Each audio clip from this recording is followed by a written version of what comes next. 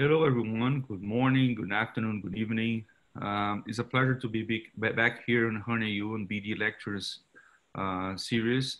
And today I'm very flattered to have Professor Jorge Daes from Barranquilla, Colombia.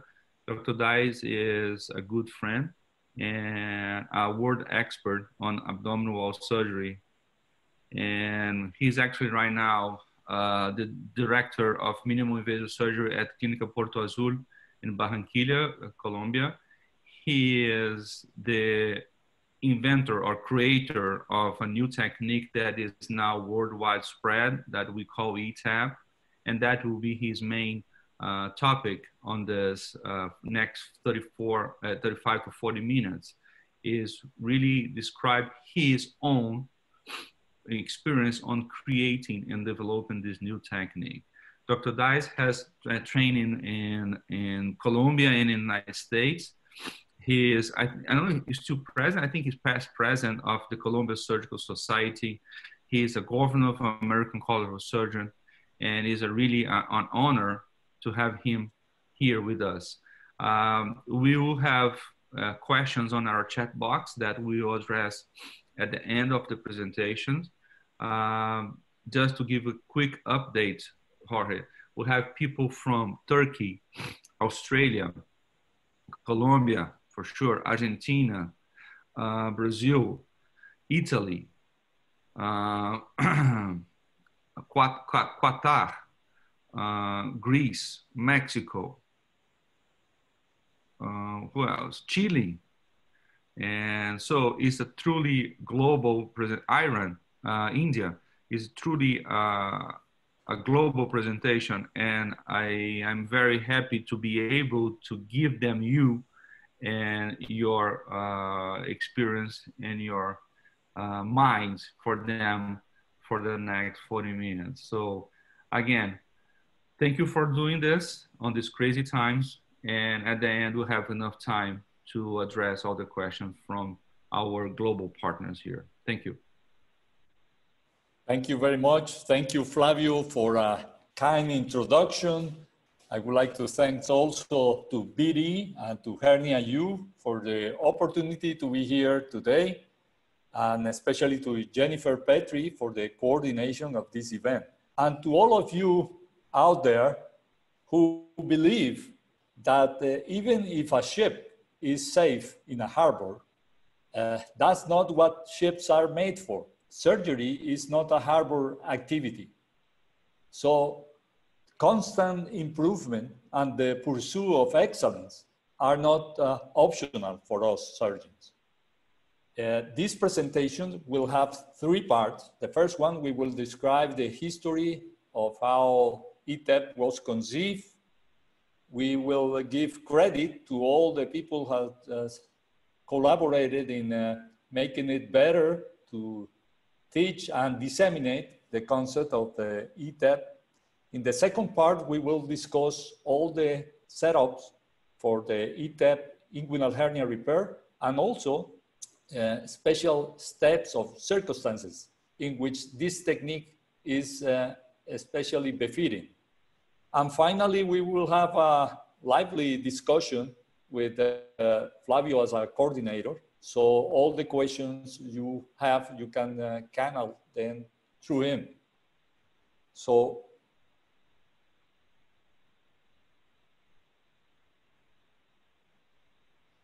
in the late 80s, I started my surgical practice in Barranquilla, a port and city uh, and a seaport in the north coast of Colombia a city difficult to pronounce, but very easy to live in. After a few years, we foresaw the importance of minimal invasive surgery, as did many around the world. But with practically no data, we couldn't convince the most uh, glamorous institutions in the city to back up our program. So we have to move to a small hospital, Clínica Bautista, where a formidable Texas surgeon and uh, uh, friend really believe and support our uh, ideas.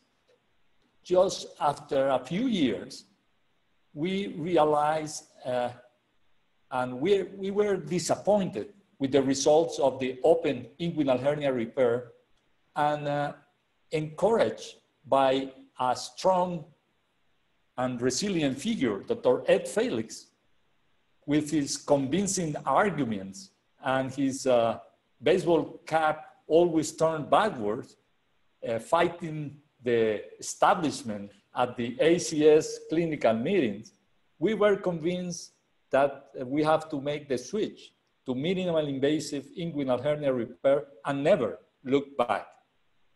So we, the TEP technique was all, already described in both sides of the Atlantic by McKernan, Ferzli, and Dulucq.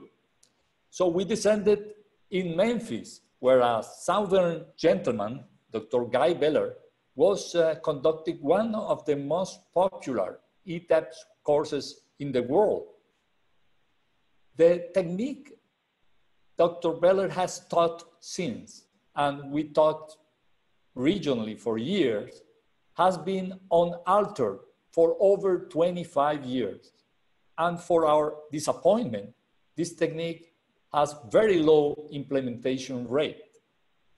The reasons for that, we believe, are the limited surgical field, the restricted port setup, the low tolerance to accidental pneumoperitoneum, the poor ergonomics, and it's difficult to teach and learn. Nevertheless, we still believe that the TAEP TEP technique was, at least in theory, the closest to ideal. So one sleepless, sleepless night in uh, 2009, where we were considering ways to improve the surgical field to facilitate the technique, we conceived the ETEP access uh, concept. The small e stands for uh, enhance and uh, lately has been more popular extended uh, uh, identification with E. And we define today the ETEP as a set of uh, maneuvers and strategies undertaken to potentiate a usable extraperitoneal space for the repair of inguinal, ventral, and lumbar hernia. And what are those maneuvers and strategies? Well, the remote access to the hernia, the creation of the space, the flexibility in putting the ports, the division of its natural boundaries when necessary. So after a few, as you can see here, the strap blue lines represent all the areas where you can access the extraperitoneal space with the ETEP technique, while the red spot shows the area where the TEP takes place almost always. And uh, the direct access to the preperitoneal space from outside of the semilunar line is possible, as you can see here, for the repair of lumbar hernias, for example. So we, in few months, have collected over 30 ETEP inguinal hernia repair, some of them in very complex cases.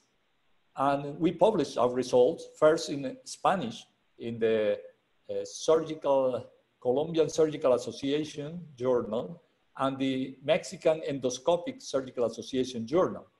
It was uh, rejected at, at, the beginning in hernia, but it was finally accepted in 2012 in surgical endoscopy in English. So that was our first publication in English. We move on to repair other hernias, like small, low, low ventral hernias, especially M5, suprapubic ventral hernias after Pfannenstiel incisions, for example, and Spigelian hernias. And we also published the first ETEP access from lateral to the semilunar line for the repair of a lumbar hernia. That case was a L4 uh, hernia. But we have to say that this technique would have been a somewhat provincial technique, if not for a group of very smart surgeons and close friends that we have dubbed the Band of Brothers. Uh, Eric Pauli and Sean Orenstein has uh, uh, collaborated to the field of hernia enormously. Uh, Conrad Ballecer has been a stalwart defender of the critical view of the myopectineal orifice, allowing the safe introduction of the robotic inguinal hernia repair. David Chen helped us conceptualize the ETEP, considering more like a concept than a technique, a way to potentiate the extraperitoneal space beyond the Retzius and Bogros spaces so familiar for us for the repair of uh, a diverse types of hernia and also to do other procedures like triple neurectomy. But it was Igor Belyansky who were closing, uh, working closely with us who really revolutionized the field when he described the crossover, a way to go from one retro, uh, rectus space to another safely. And with it, he introduced the ETEP rifts and ETEP TAR procedures.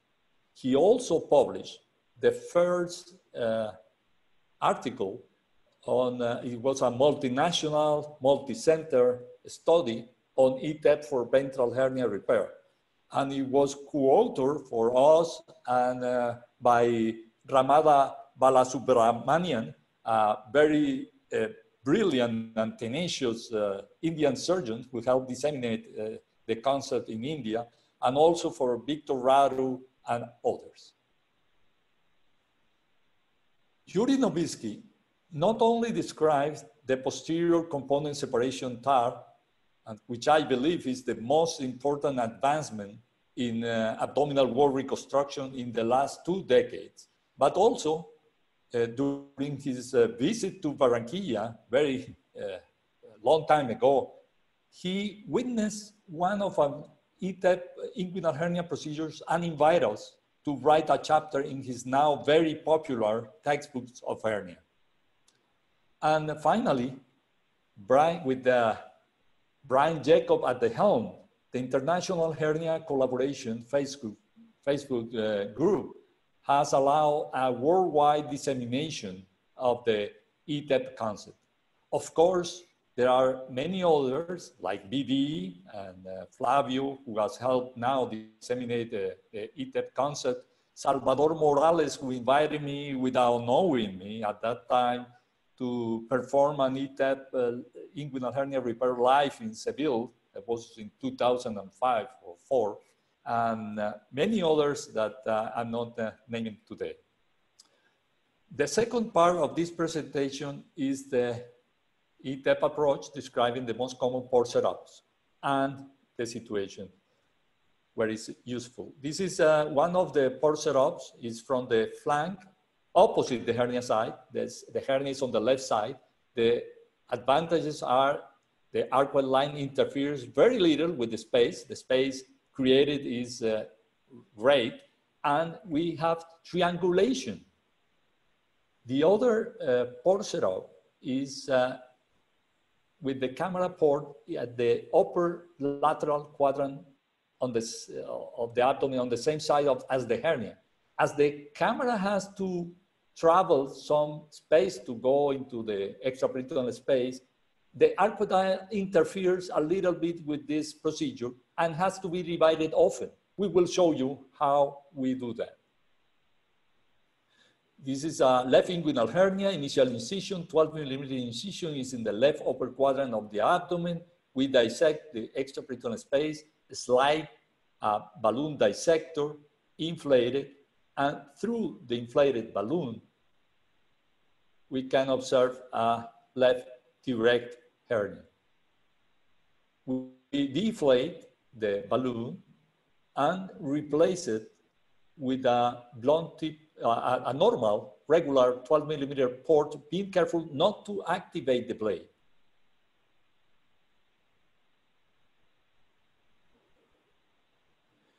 Then we irrigate through the umbilicus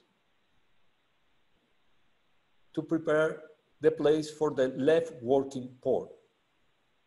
Then we make an incision, in this case inside the umbilicus, and place a five millimeter port, keeping the same angle as we did with the needle. We have to have a memory there to memorize the angle of the needle, so we facilitate the placement of the port.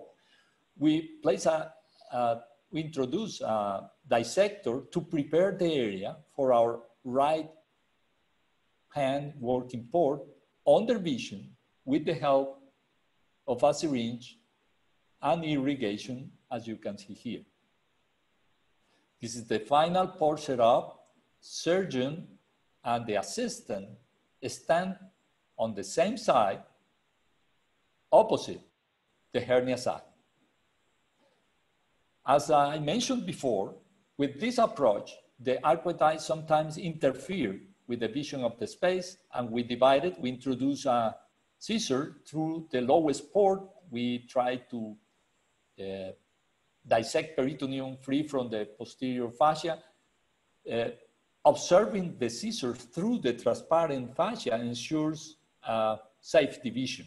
Even a small division of the arcuate line uh, procure a really great space.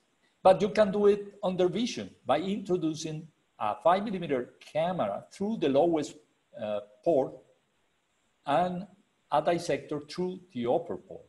So as you can observe here, we dissect peritoneum free from the posterior sheath and then we divide the arcuate line and the sheath medial to the semilunar line.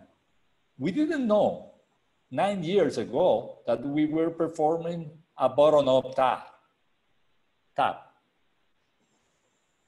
This patient has a right inguinal hernia, and now we are going to make the first incision in the left flank, seven centimeter lateral, two to three centimeter cephala to the umbilicus. We slit the uh, balloon over the fascia until we pass the arcuate line, and then we turn it to the right side, we inflate it, then we deflate it and replace it by another 12 millimeter port. You can observe here how the arcuate line interferes very little with the space, with the vision of the space with this approach.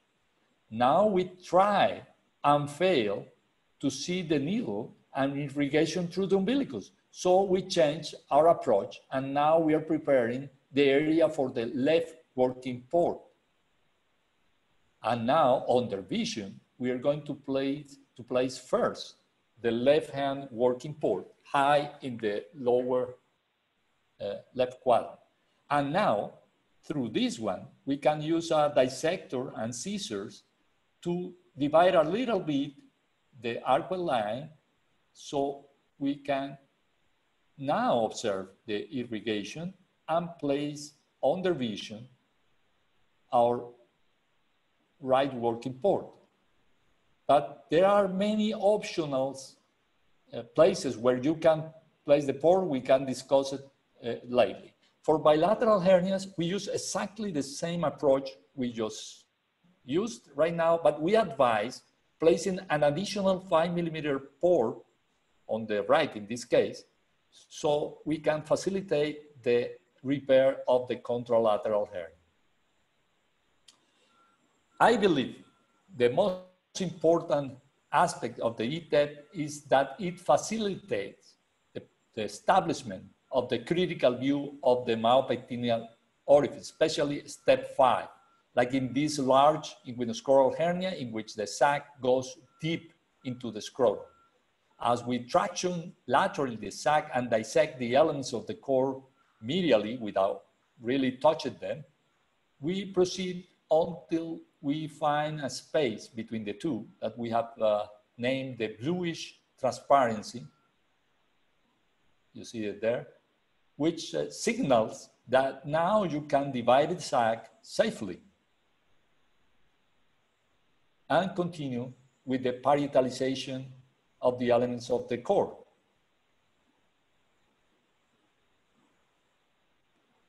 This is a facilitated by the ETEP because the space that it provides and this place where the camera is allows this uh, proximal dissection. But sometimes the dissection or the parietalization should continue cephala in order to prevent these elements of the core hanging up in the space, forcing tenting of the mesh over them. So now you can see that we really completed the step five. One other maneuver facilitated by the ETEP approach is the prevention of the seroma by management of the distal sac by tractioning the lateral border of the divided distal sac until we, you see that the uh, pneumoscrotum disappears and fixing it high and lateral onto the posterior wall to prevent seroma formation. We have done that for years and it's a very effective way to do it. ETEP facilitates implementation of step eight. Any mechanical fixation like this one should proceed at least two centimeter above an imaginary line between the anterior posterior iliac spine, anterior superior iliac spine. And in this way, it is very high from any nerve. It's safely to do it there. As you can see here, that's the axis and that's our point of fixation. ETEP also makes, makes it easy, step nine, to place a properly sized mesh like this uh, 17 by 15 centimeter soft mesh. Well, step seven is one of the less understood and more controversial step of the critical view. After dissecting a lipoma, we place a dissector behind these lipomatous structures lateral to the uh, internal orifice and traction downward and cephalad, we put those elements under tension and far from the posterior wall, making easy to divide them using small bursts of low uh, voltage cautery. The nerves are not hanging in the middle of the space, are against the posterior wall, and therefore are preserved with this maneuver. This maneuver allows the mesh to be accommodated. The lateral inferior border of the mesh is going to be accommodated deep into the pelvis, therefore preventing its displacement and facilitating its integration. This is the ETEP, the critical view of the myopectineal orifice as seen with an ETEP bilateral approach. This is a 55 year old male patient with a history of uh, falling from great height five years uh, before. He had an osteosynthesis of the for pelvic fracture through a very long Pfannenstiel incision. He was complaining of progressive bulging, especially on the right side. We approached this patient with an ETEP approach. This is the final view of the dissection and as you can observe, this is more like an incisional hernia with total loss of the posterior wall more than a direct hernia. But in these cases, ETEP allows the placement of very large meshes like this one and its fixation, in this case with a combination of sutures and tacks.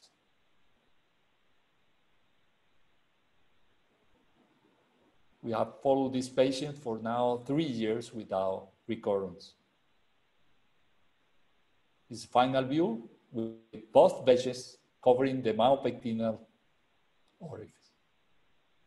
Another uh, indication for the ETEP approach is this left sliding hernia in which you can open the sac, verify where the cul-de-sac is, where the colon is, and despite the air seeping into the peritoneal cavity and a pneumoperitoneum developing, it doesn't interfere with the completion of the procedure.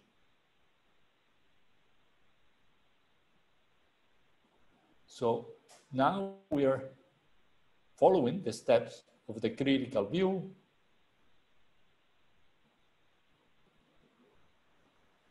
We carefully close the peritoneum after verifying that the organs remain sound and placing a properly sized mesh.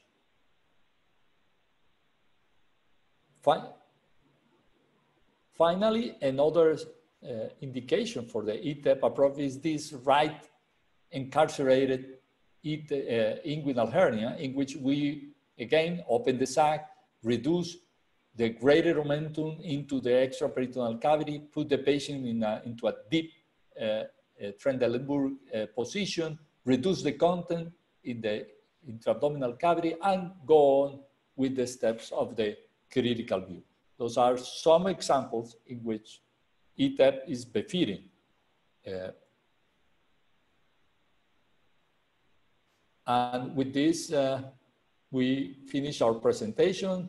I look forward to your questions. Flavio? Thank you, Jorge. Um, it was a, a, great presentation as uh, as always. Um, I will, start to have my, some questions here. The first one is from Edmundo Inga from Peru. He was discussing in your historical presentation if it was not Professor Dulucq from France, the first one to detailedly uh, describe the tap. Oh, well, in the history, according to some uh, articles by Ed Felix and others, uh, Dulucq in France uh, was uh, described the tap technique. But uh, you know, in the history, history of hernia is very controversial, almost always, about who did what. And uh, everybody used to put their names in all the techniques. But uh, that's what I, I really could find about the pioneers of that. Yeah, yeah. So I, I think the in US the guys they did a TP by an accident. They were trying to do a TAP TAPP and they by accident. But Dulucq is very known from the early descriptions of TAP TP, and it was really a pioneer on a non-fixation concept for TP. So I give him a lot of credit. Thousands of cases without fixation. And I think was really eye, eye opener for us that the lack or the less need of fixation that we have on this um, uh, TP technique. So a uh, question, do you, from Dr. Biral Ag do you think that the biggest, the bigger dissection, the you have more seroma on that space well, two things. If you, with your current minimally invasive approach for inguinal hernia, you are comfortable following the steps of the critical view, you don't need more space. You continue doing what you're doing and probably reserve ETEP for older cases. For us that believe that ETEP uh, can be done uh, routinely because because it facilitates all the steps. We haven't observed uh, an increased rate of uh, seroma formation. We believe seroma formation depends on leaving a dead space. So if you really address that problem in the direct approach by reducing and fixing the transversalis, the lax transversalis fascia, or in the indirect uh, uh, hernia by, by reducing the whole sac, which is also problematic, but you can get orchitis and uh, hematomas and other problems, or by doing what you just saw now, you won't have a great amount of seroma formation. Probably all patients had uh, a small degree of seroma that disappears without being clinically important, but clinically important seromas are now rare in our practice. And we use uh, ETEP routinely. Yeah, uh, seromas uh, should not be an issue on this technique because it's peritoneal dissection. So uh, the peritoneum is very highly capable to absorb fluids. So uh, seroma has never been an issue for TAPP or TEP. Hematomas are an issue and it's usually related to patient factors or technique factors but is a big space, yes, but is in a preperitoneal space, so probably should not be a problem. Uh, probably should not be a problem. So it's a question from Hafta Alo Layan. Why it, is it enhanced? Why is it different from the classic TP? I think that's, that the answer is easier, and I, I ask you to allow me to answer if I got it right. Is is enhanced because you have a bigger operative space by the way that you position your ports, you have a bigger space to work.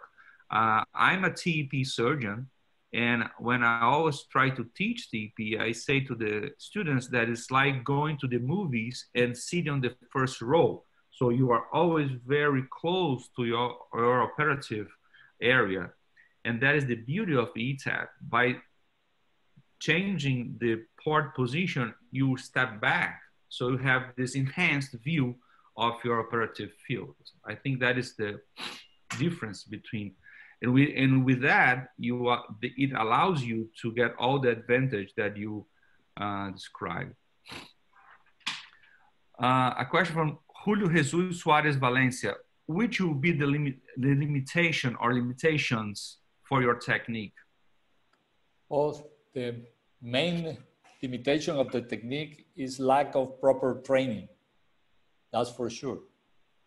You need a proper training to do this technique. This is nothing that you can just watch a video and go back and do it in a patient. You want to learn it in a course of a weekend course on ETEP. This technique, as all the extraperitoneal techniques, require proper training, stepwise training. So that's the, the main limitation of the technique. I would say, I would say the use of balloon is optional. The trocars you can use reusable. There is no uh, limitation because of, uh, of the material available because it can be done with, uh, with the same material you do a tap or others. The main limitation is training in my point of view. So, a uh, question from Dr. Gandhi. Um, why did you use a lightweight mesh on that case of the pelvic trauma that you show? Would not be better to use a regular heavyweight mesh? Well, Jing has a great eyes because that is true. Because we didn't have it available at the moment. But what we did is to put two meshes in, in the right side, that was the big side. We used two meshes and we overlapped them. But I, am surprised he could see, he could see that. But that, that was our solution for our problem. We, we put an extra large 3D mesh, 3D mesh in every place, and then on the right side, put one inverse. So we cover the whole thing uh, widely. And uh, we fix it especially uh, uh aggressively in this case. Uh, we don't usually do that. And we do it in this case because we didn't use the proper weight mesh. That it should be uh, should have been a, a heavy weight. Okay, a question from Dr. Jorge Ospina. What what do you do when the peritoneum is open? Well, that's a great question from a great professor. Uh, the the thing is, you have a hole in the peritoneum because there is air. When you don't have air there, the border of that defect come together and you don't have a hole anymore. So if you have a small tear of peritoneum during ETEP or TAP, you should be, uh, you should uh, just check that the end of the procedure, do you release the CO2 in a controlled manner and watch the borders come together. If you do that, you don't need to do anything else. It will keep, it will uh, uh, be kept uh, closed.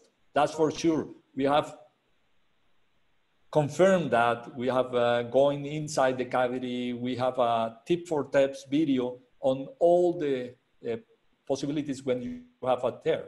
Now, if you have a huge tear, well, you have to close it. And uh, the beauty of the ETEP is that allows easy handling of suturing, endosuturing. So my answer is in the great majority of uh, defect or tears, you don't need to do anything, just to make sure that CO2 is released in a proper uh, manner. Otherwise, if CO2 remains in the space, you will have a, a hole there. And I, I, think the same applies for the TAP procedure, but I won't discuss that today. So, uh, Dr. Agca, what is your main purpose for doing ETEP? Why do you do ETEP?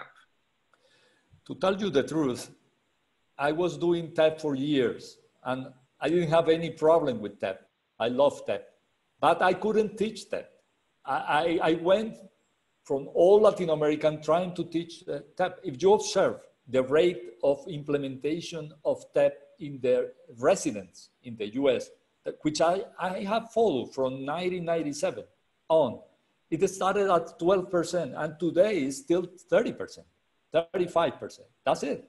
In 25 years, it didn't have this uh, implementation. So I was looking for ways to teach that better, to, to find a way to modify just to make it more palatable, palatable for surgeons. And in the way, we found that we can do a lot of things by working in the extraperitoneal space. So it spawned all the techniques you heard uh, during the history part of this presentation. Yeah, I think the answer is it's just easier to teach, and once you learn it, it's easier to do than a regular TP. Um, there's a question here. The port at the umbilicus nearly always fights with the camera port. How do how do avoid how do you do how do you avoid this? I think the answer is you answered this in, in, in your presentation. You do your higher camera port more lateral. Yeah. You mentioned that three centimeters, seven centimeters. You are above the umbilicus and lateral, more lateral. You need to understand the rectal sheath has in average seven centimeters, 6.5, 7, 7.5 centimeters. So you try to stay lateral on the rectal sheath. That is different from the traditional tap TP that we stay medial on the rectus when we approach an umbilical area. By doing this, you move away your camera from the midline. So that's why you collide less. Yeah, that's, that's a perfect answer. I, I, would add just that even in the upper lateral approach, in the upper lateral quadrant of the abdomen, the camera should be moved a little bit uh, more lateral.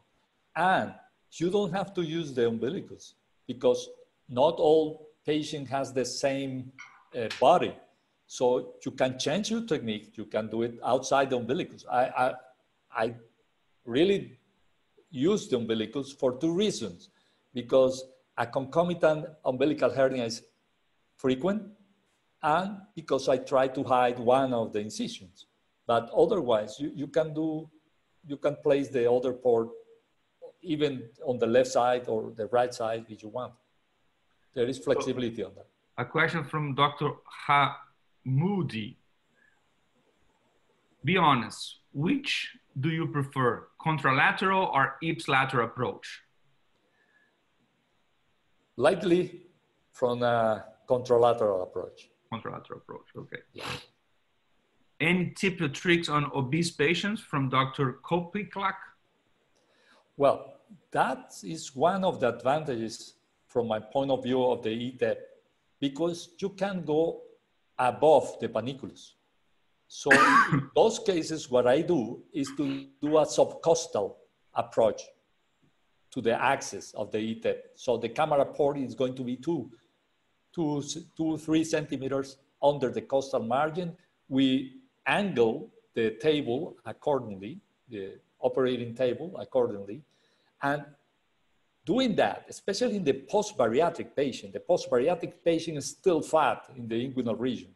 So if you put the camera there is going to make uh, much easier an extraperitoneal approach on, on those patients. Otherwise, you have the open approach that you'll be in the middle of the panniculus, or you have the TEP that is still in the middle of the panniculus. So I think it's a good option to do an ETEP. Have uh, Dr. Fuentes, Francisco Fuentes, have you ever resect bowel for a strangulated hernia during a ETEP? And what would be your recommendation? Mesh, no mesh? Yeah, I, I haven't done a resection for uh, in the extraperitoneal space. My recommendation is always to go intraperitoneal in those cases in which you suspect an uh, uh, strangulated hernia. You reduce the content and you can do an extraperitoneal, uh, an intraperitoneal resection of the bowel involved. Then you have two options. Close the defect and come back later on, or you can do a second uh, setup. You wash your hands again, skin preparation, dress the patient again, and do an extra peritoneal approach then. I, I have done the, the last one. You can do that also. I'm very conservative with the, where you have uh, uh, contamination. I know that the statistics says that the risk of infection is very low, but I, tend to think that even if it's low, if it's present, it's going to be a catastrophe. So I try to avoid that. So if there is really contamination, I'll avoid it. If it's a, a small uh, disruption without contamination, I'll go and put a mesh. Go on and put a mesh. Uh, I have a question from Dr. Scott Laker. How do you manage a large indirect sac on ETEP? Because he's concerned that uh, this large sac can slide under the inferior edge of the mesh. So when he does TAPP, he kind of incorporates the sac into the peritoneal closure. Well, the problem, eh, but eh, if you reduce the sac, you can do that. But if you have a, a distal sac remaining deep into the scrotum, well, that, that's really the problem. But let, let me put it in this way. If you have a large inguinoscrotal hernia, you have two options. If you try to dissect the sac all the way to the uh, scrotum, you can do it. You can, you can reduce the whole sac. But the price is going to be more hematomas uh, or caries uh, and, uh, and seromas, still seromas. But if you divide the sac and if the distal sac is small, you can leave it alone. As uh, Flavio mentioned, the seroma is going to be self-limited. But if it's a large sac, I think we should do something about it. When I, when I left those very large sacs, I have seromas and I have to go back to some of them to resect the distal sac through the scroll. So uh, when we change to this practice of reducing the sac and fix it in, into the wall, lateral and high, well, we, we, don't, we haven't seen uh, any more seromas. Now, if you're concerned about the mesh integration that is limited because there is a, a peritoneum over there, over the wall, well, it's going to be very limited because if you put a large enough mesh, it's going to be integrated all around this place. So I, I don't see that as, a, as an obstacle.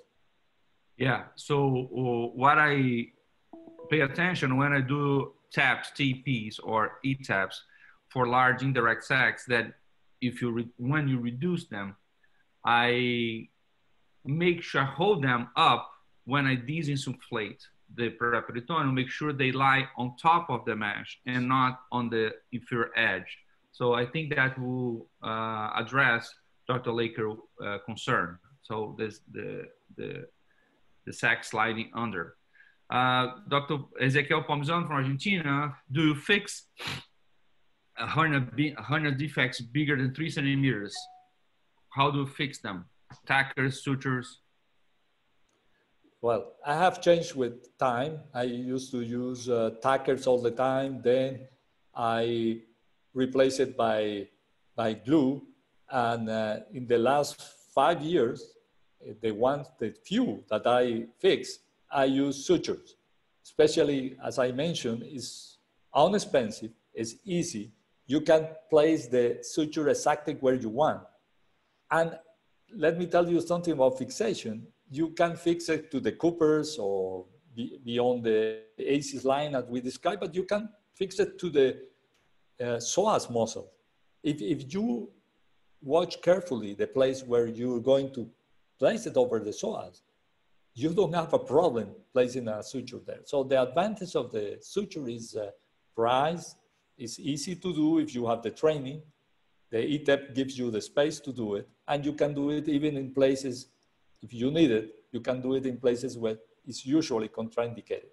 Uh, another point on fixation, if you try to fix the sac, this large sac to the wall to prevent seroma with a tack, the tack doesn't have enough purchase to accommodate the uh, sac and fix it to the wall. So that's, uh, that's a drawback of tax, the limited purchase they have. That's a, so uh, Conrad has a question. So your ETEP procedure has disseminated worldwide. What is your recommendation for surgeons on how to transition from TP to ETP without the possibility of being mentored by other surgeons? That's that what we discussed earlier. So I do TP. I want to try ETP next week. I don't have anyone to help me. What will be your recommendation? Well, it should be uh, done in a stepwise approach. First of all, well, if you are an expert of TEP, I, I bet you don't have to do a, a lot of things. You have uh, available videos in the ISC, and BD Hernia U, in the YouTube, everywhere you have videos. You have uh, telementoring. You have um, uh, many resources, but I strongly recommend going to the cadaver model. For me, that is the best way to learn ETEP. The cadaver model, and Conrad is an expert on that, and he has uh, uh conducted many uh, uh, successful cadaver courses is the best model to learn ETEP, not only for inguinal hernias, but also for ETEP Rives-Stoppa, ETEP uh, TAR, ETEP uh, lumbar. I strongly always recommend to have a mentee. The, I think uh, now is uh, the technique is, has been so widespread that I, I certainly you'll find in any continent an expert who can teach you how to do it and to help you in your first cases. That should be the ideal. Yeah, so if I can uh, add some comments on this answer is watch videos, videos, videos, and videos as much as you can. Have a five millimeter camera so you can change the camera position to give you more versatility during the procedure if you need. Don't hesitate to cut the arcuate line. And I think those are I think my advice. So we are running on the last 10 minutes and we have like dozens of questions. So let's try to make, uh, I'll try to make the questions faster and you kind of fire rapid me back. So uh, uh, use or not the balloon dissection to lower costs? My answer is that's no problem to do without a balloon. I when I used to work in Brazil, that was one my to-go procedure in my university hospital. I never used a balloon. For me, they help a lot, but if you don't have them, it's something that not contraindicate your procedure. Do you have any experience without a balloon? Yes, I have done without balloon when the, I don't have the balloon. But let me tell you something about that the use of balloon in, in studies, randomized studies, has shown that it reduces time and bleeding. Uh, secondly, you have available many varieties now and brands of balloon, but choose the round balloon, the simplest you can have. That's all you need. You don't need this fancy things to, to, to make the procedure. You can find a balloon for a $100, a good balloon. So if that's the, the problem, price or disponibility, we we don't have problems now with that. Okay. So question about if you have any collision, if you put another port, yes, you said that the port placement is very flexible. If you think that is uh, necessary to put an extra five, there's no problem in put. I, I used to tell my resident fives, fives are free. So if you have any difficulty, just put another port. Um, if you need to convert, uh, how do you convert? I think just make a wide flap and position your ports inside the cavity and do a TAPP. There's nothing different on this. Um, what will be your exclusion criteria? Which patients you would not uh, attempt ETEP? That, that's, a, that's an excellent question. And uh, if the patient had a previous extraperitoneal approach, especially with mesh, I would go tap without any doubt. If you are not an expert in the extraperitoneal approach and you have a recurrence or re-recurrence, go anterior, do a Lichtenstein. Don't try this. I, I've done all by posterior approach, but those are difficult cases. Uh, same as if you have a, a previous open prostatectomy, which I do routinely, those are the most difficult cases to address by ETEP.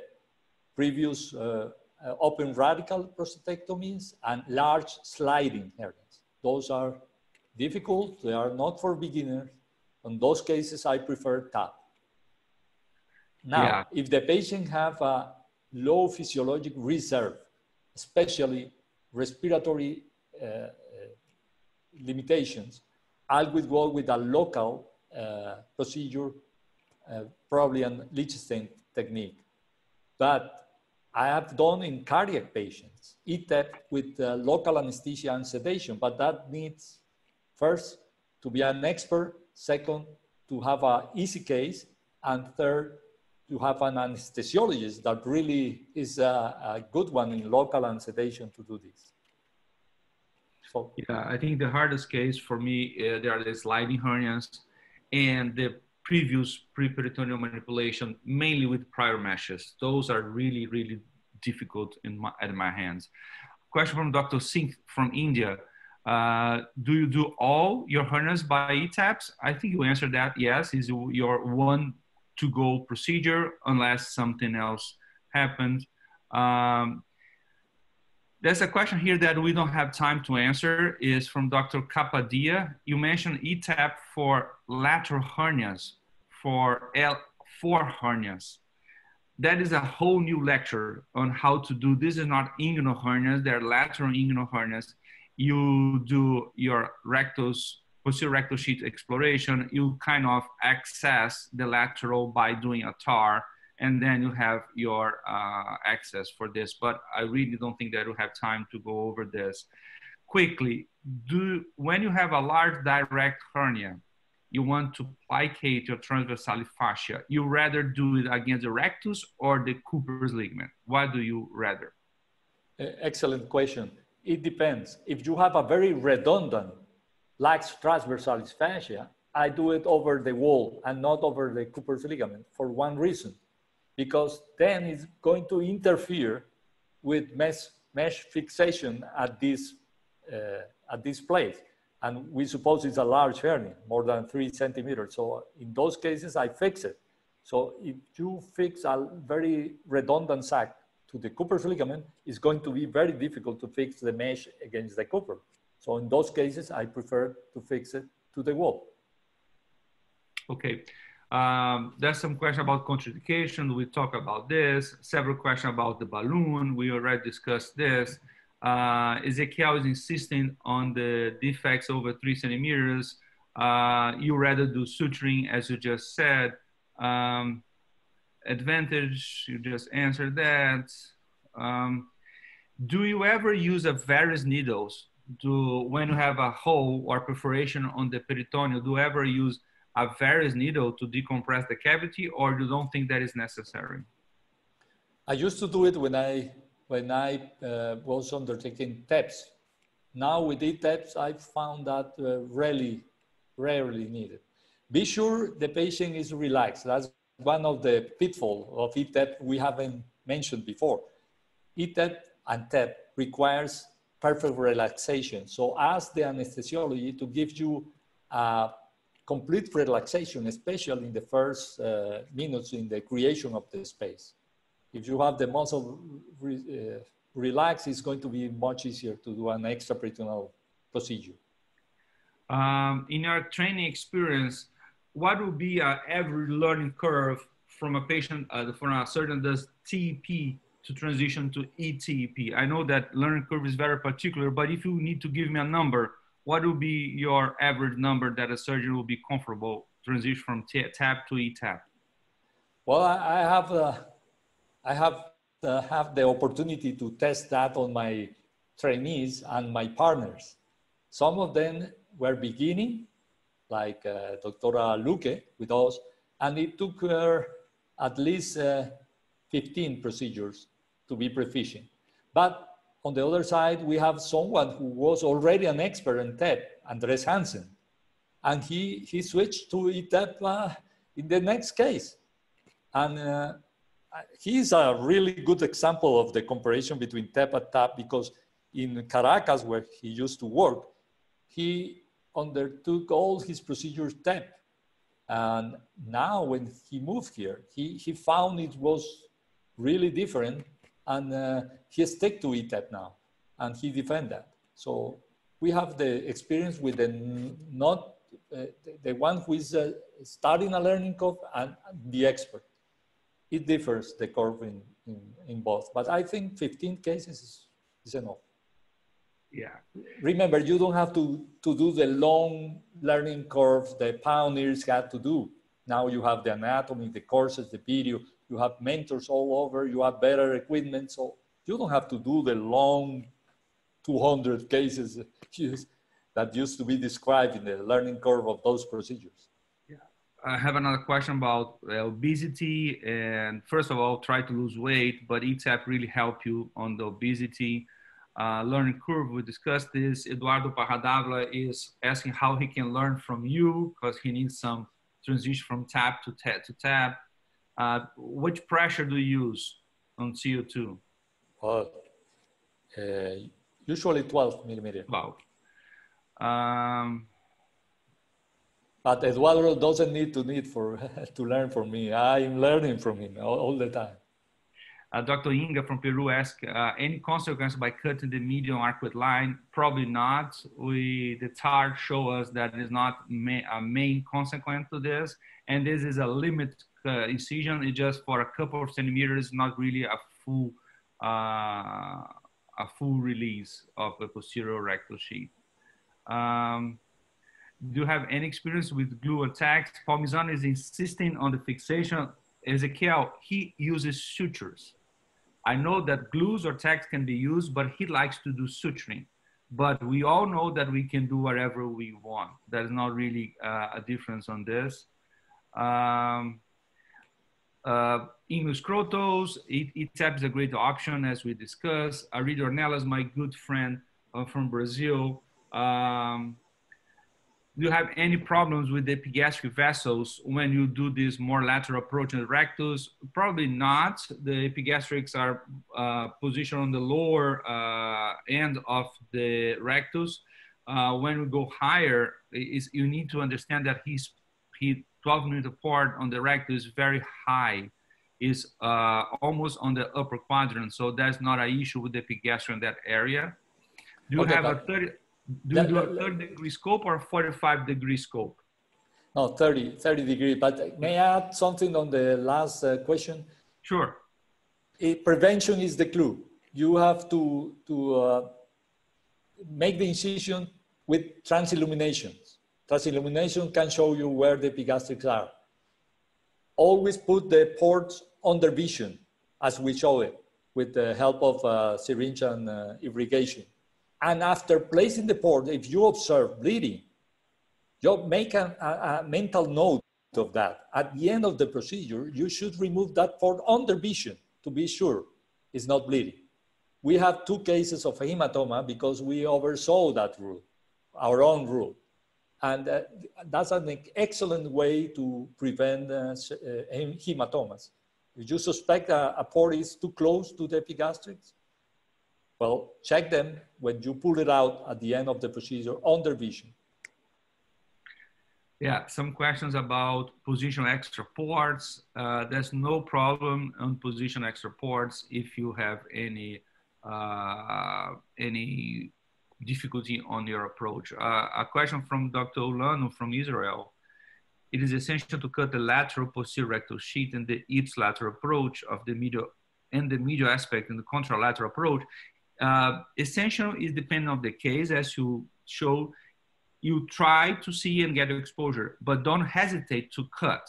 If you the patient has a higher arcuate line, sometimes you don't need. Sometimes the patient has a low arcuate line, you do need to cut the arcuate line. So I think that is the best answer.